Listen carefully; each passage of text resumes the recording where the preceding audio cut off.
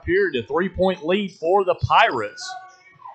And that's going to be a three-pointer at Spartans with the ball. Back shot back to Cone and is in the lead all night long. There's a three by Cone. Down low over to Cone. Now back to Cone for the three. He had a couple of lean the ball.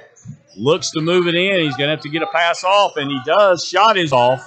Also entering the game, that's Mariano that's in. Now that pass is going to go off.